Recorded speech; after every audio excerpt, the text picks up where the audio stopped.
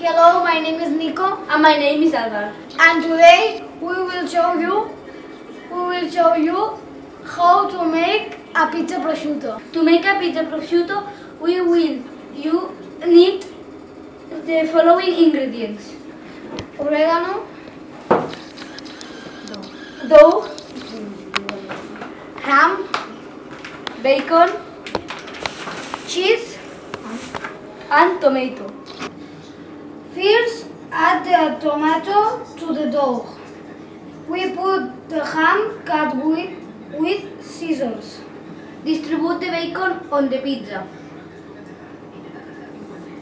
Then add cheese on the dough. Add oregano. No, add some oregano. Heat the oven for 5 minutes.